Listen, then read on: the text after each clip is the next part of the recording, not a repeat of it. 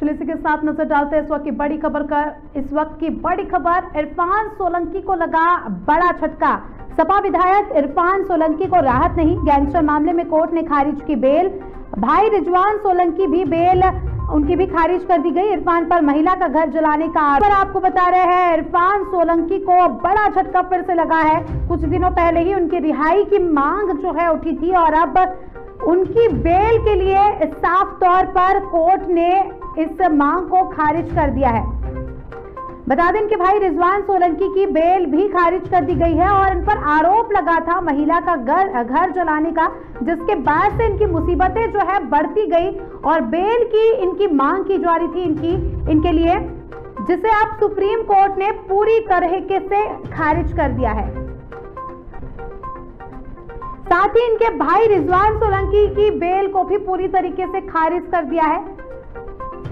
बता दें, सपा विधायक है इरफान सोलंकी बड़े आरोप इन पर लगे थे। महिला ने जो है अपना घर जलाने का आरोप इन पर लगाया था, जिसके तहत जो है इनकी गिरफ्तारी हुई थी और गिरफ्तारी के बाद से ही इनकी मुसीबतें कम होने का नाम नहीं ले रही। आए दिन इनकी मुसीबतें बढ़ती जा रही है और इनकी रिहाई की मांग जो है बढ़ चढ़कर की जा रही थी। मगर अब सुप्रीम कोर्ट ने पूरी तरीके से इनकी रिहाई पर पाबंदी लगा दी है और तो और इनके भाई रिजवान सोलंकी की बेल भी खारिज कर दी है। इसी के साथ इस खबर पे हमारी सहयोगी जेवा खान हमारे साथ जुड़ चुकी है। जेवा, अभी भी इरफान सोलंकी की मुसीबतें कम नहीं हुई है। महिला का घर चलाने का आरोप इन पर लगा था और जिसके तहत इनकी गिरफ्तारी हुई थी। और अब जो है कोर्ट ने पूरी तरीके से इनकी बेल खारिज कर दी है। इनकी तो इनकी, साथ ही इनके भाई रिजवान सोलंकी की भी बेल खारिज कर दी है। जी, बिल्कुल। देखिए, जो विधायक है, सपा विधायक हैं, दरअसल ये अभी तक जो भी है कानपुर में, ये विधायकी लगातार जीतते रहे हैं, समाजवादी पार्टी से आठनगर इनकी सीट रही है।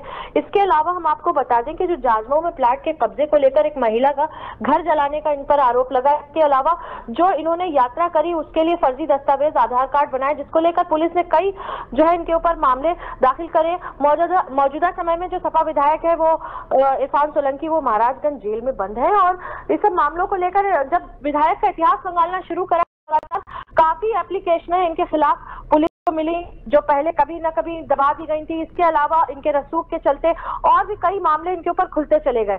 और दरअसल क्या हुआ कि जब ये महाराजगंज में जब गैंगस्टर का मामला आया तो पुलिस ने एक, जो है कोर्ट से अनुमति मांगी थी कि जेल में जाकर इनसे पूछताछ करने की।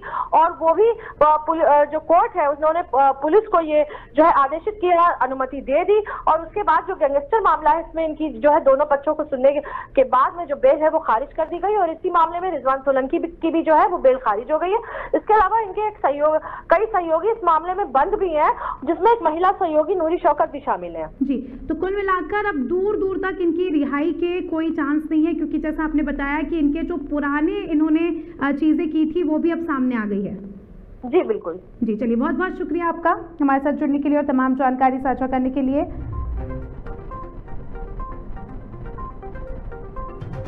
तो बड़ी खबर हमने आपको बताई इरफान सोलंकी को एक बार फिर से बड़ा झटका लगा है। गैंगस्टर मामले में कोर्ट ने पूरी तरीके से इनकी बेल जो है खारिज कर दी है क्योंकि जब कोर्ट ने और पुलिस ने इनके रिकॉर्ड खंगाले तो काफ़ी ज़्यादा चीज़ें बाहर निकल कर आई तो पूरी तरीके से अब इनकी बे, बेल को खारिज कर दिया गया है।